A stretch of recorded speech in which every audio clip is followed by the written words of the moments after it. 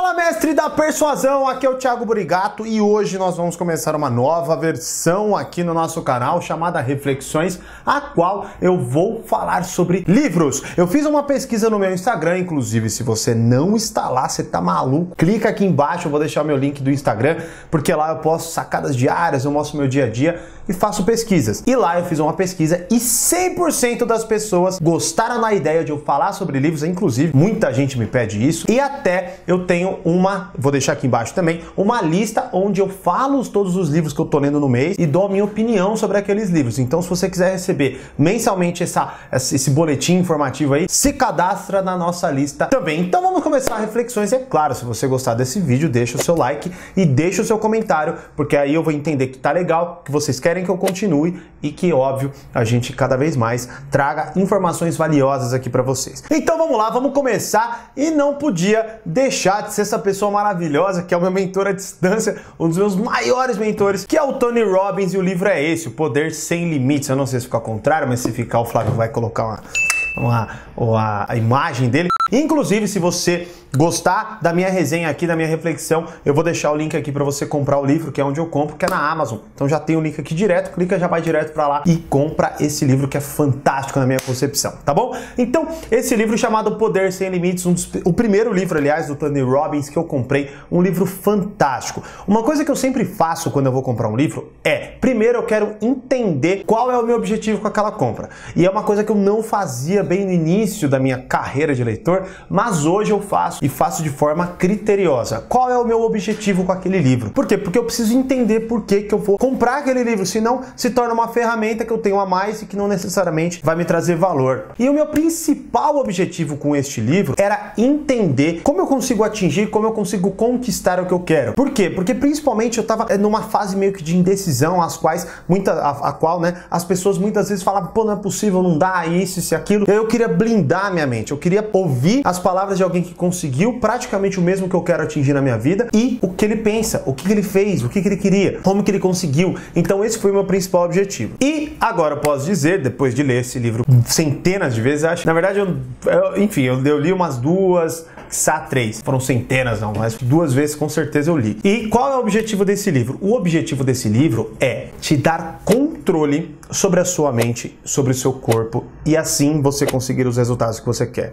Pense assim, ó, o, que eu mais, o que eu acho mais legal que eu aprendi nesse livro. Você vai, tudo que ele ensina, você já vai fazer, mas não do jeito que ele ensina. O que, que eu quero dizer com isso? É basicamente o quê? Por exemplo, vamos supor que você está sentado dentro de um carro e essa é a única forma de você se locomover, de você fazer as suas coisas. Ou seja, você vai ter que dirigir aquele carro. Ponto final. A diferença vai ser: você quer dirigir ele bem ou você quer, enfim, aprender batendo, se ferrando e muitas vezes que nem aprender. Você vai bater, bater, bater, bater e não vai entender como que você consegue aprimorar aquilo ali, né? O que, que eu quero dizer com isso? Hábitos, crenças, valores e tudo isso, certo? Alimentação até, posturas, emoções e tudo mais, você já vai fazer, você já executa, você já tem tudo isso aí. Você já criou diversos hábitos positivos ou negativos, você já tem valores, você já tem tudo isso. A diferença é, eles estão alinhados com o seu objetivo de vida ou não? Você está tendo controle sobre esses recursos na sua vida ou não? E aí é onde você aprende que caso Caso você não queira ler esse livro, ou caso você não queira se especializar nisso,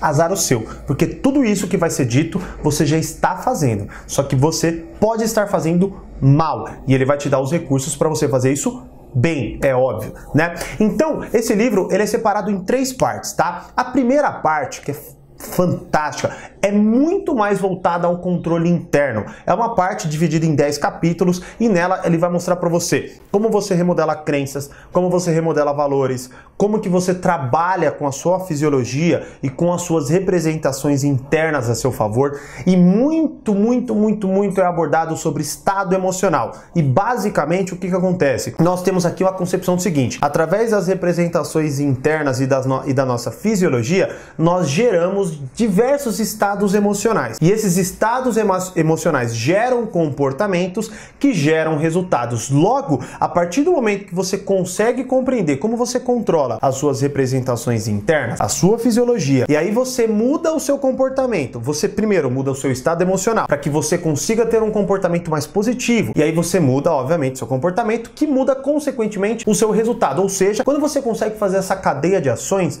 você consequentemente gera um resultado resultado positivo e um melhor resultado na sua vida. E o que é mais importante, ele desmistifica uma coisa fundamental. Nós acreditamos fortemente que mudanças só podem acontecer muito tempo, muito esforço e muitas vezes não é bem essa a realidade. É óbvio que isso aqui não é uma poção mágica que você lê, aprende e pronto, sua vida está melhor. Não, você precisa aplicar. Vai exigir treino, vai exigir dedicação, vai exigir esforço. Mas o principal ponto que se é abordado é que além de ser possível, quando você faz de forma eficiente, você gera resultados muito mais rápido. Agora, é claro, uma coisa muito importante: eu li um outro livro dele chamado Desperte o Seu, Giga Seu Gigante Interior, inclusive vou fazer reflexões sobre esse livro mais para frente, né? Mas é importante também ressaltar que alguns pontos da forma como ele aborda, por exemplo, né, eu acredito serem um pouquinho, eu não acho nem que será, seja apropriada a palavra arrogância, mas talvez seja de uma, uma, uma, esperança a qual pode desestimular. O que, que eu quero dizer com isso? Muitas vezes ele propõe algumas mudanças e ele coloca em termos de tanta facilidade que quando você não atinge, você se sente um incompetente. E eu passei por isso, tá? E aí o que, que acontece? Você fala, poxa, mas por que foi tão fácil para ele aplicar e para mim não está sendo fácil? E aí é muito interessante que no próprio Desperte o Seu Gigante Interior, ele aborda um pouquinho disso. Ele aborda que como ele conseguia gerar muitos resultados. E é claro, quando uma pessoa escreve no livro, não dá para você muitas vezes entender o quanto aquela pessoa se frustrou e passou de dificuldade até chegar naquele ponto, né? Porque, querendo ou não, do resultado final e bom para, vai, ou melhor, daquela transformação, daquela, daquela consequência e frustração que o cara tinha para a sua, para o seu resultado final positivo e tudo mais, é uma página, duas páginas, alguma coisa que já nos dá a impressão de que foi muito mais fácil do que é pra gente. Parece que a pessoa não teve que se exercitar tanto, né? Mas teve sim, e é óbvio que isso é necessário. Então, nesse primeira, nessa primeira parte, ele aborda isso ok? Agora, a segunda parte, ele já coloca o foco, o seu olhar em algo mais externo, ou seja, ele já começa a abordar a conexão que você faz do seu controle interno com as outras pessoas, com as coisas fora de você, tá bom? Com o mundo, com o universo, com as pessoas, é óbvio, né? Mas não só com isso, mas a interpretação muitas vezes do que você faz de fatores e como que você tem que pegar regras e valores as quais vão moldar os seus resultados e vão te ensinar como lidar com fracasso, com um plano que não deu certo e até o mais importante, a montar um plano que gera resultado. Uma das coisas que ele mais aborda e que ele se coloca inclusive como um master do mundo é modelar as pessoas. Ele pega alguém que tem muito sucesso em determinada coisa e ele modela aquele, aquele sistema que aquele cara criou e ele consegue passar para as pessoas com uma assim com uma maestria fantástica, né? Tanto que ele tem livros, alguns não são traduzidos como Money Master the Game, que é um livro que acredito ser fantástico, ainda não li, mas está aí na minha lista também. Mas basicamente o que é? Ele consegue modelar muito assim de forma muito prática, de forma muito eficiente as pessoas. E aí ele ensina você esse método. Ele me ensinou e pode ensinar você também a modelar pessoas de sucesso. E é muito importante que aí você começa também a mudar um pouco do seu foco para parar de tentar entender pessoas fracassadas, que é o que aconteceu comigo, pessoas que não atingiram o que você atingiu e te desestimulam a atingir o que você quer. Ou seja, elas não conseguiram, logo você não vai conseguir. Você para de olhar para essas pessoas porque você vê que muitas vezes elas não vão te dar nada de valor. E aí você começa a mudar o seu foco para pessoas de sucesso e como elas chegaram aonde chegaram, certo? Então é muito legal essa mudança de perspectiva, beleza? E também a parte 3 eu acredito ser alguns ajustes finais. E é muito legal que ele tem um módulo de persuasão, a qual ele fala muito da comunicação, tanto interna quanto externa, e como que você consegue fazer com que não só os recursos internos trabalhem ao seu favor, mas também como os recursos externos externos trabalhem a seu favor. E muitas vezes eu não coloco só pessoas, porque pessoas, é claro, você precisa do apoio e da cooperação delas. Ele mostra diversos meios para que você consiga isso. Mas na minha concepção não é só isso. Quando você entende a sua relação com outros fatores externos, você também gera grandes resultados. Tem pessoas que, por exemplo, não geram bons resultados porque não entendem, por exemplo, a sua relação com o dinheiro. Vem tudo de forma negativa. Muitas vezes vem o dinheiro como algo sujo, como algo relacionado à maldade. E isso é um conceito extremamente extremamente errado que as pessoas têm e por isso muitas vezes elas não saem daquela miséria que elas estão e conseguem executar uma transformação poderosa no mundo, porque elas não entendem que o mundo funciona de determinada forma e que a sua relação com ele tem que melhorar para que aí sim ele consiga executar a mudança que ele quer ver no mundo. Mas antes de ele não entender isso, não tem como gerar mudança, até porque você se rebela, você fica contra um sistema que é tão mais poderoso porque é um sistema impregnado já. E aí você muitas vezes não compreendendo essa relação, não consegue ter bons resultados. Então, eu vejo como um dos principais inícios. É um livro que tem 300, quase 400 páginas, mas é um livro fantástico, de uma leitura simples e fácil na minha concepção e principalmente que passa para você, como passou para mim, conceitos que deveriam ser abordados na escola, deveriam ser ensinados pelos nossos pais, mas que Infelizmente, algumas pessoas não buscam essa, essa, esse aperfeiçoamento, não sabem dessas informações, não por isso não passam para os filhos, e é óbvio que o sistema educacional não é um dos mais exemplares, não concordo. Se você já me conhece e já me assiste há um tempo, já sabe a minha opinião sobre isso,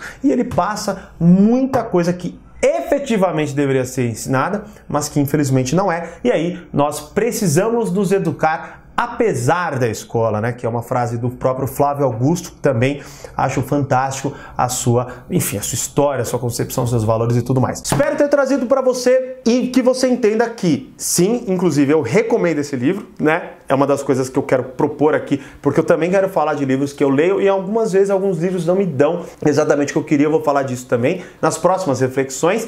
E se você gostou desse formato de vídeo, deixa aqui, poxa, porque é só assim que eu vou falar, pô, legal, vou fazer, dá trabalho fazer. E aí eu preciso saber se vale a pena, né? Então me diz aí se vale a pena e eu faço de coração cada vez mais esse reflexões através dos livros e dos conhecimentos, dos bastidores, né? Tanto dos meus treinamentos quanto das minhas mensagens das mídias sociais. Então deixa seu like, participa do Instagram e se inscreve na lista também para você receber mensalmente o meu boletim informativo com os livros e as minhas opiniões do que eu tô lendo naquele exato momento, tá bom? Como eu sempre digo, mais persuasão, mais controle. Grande abraço e até o próximo vídeo.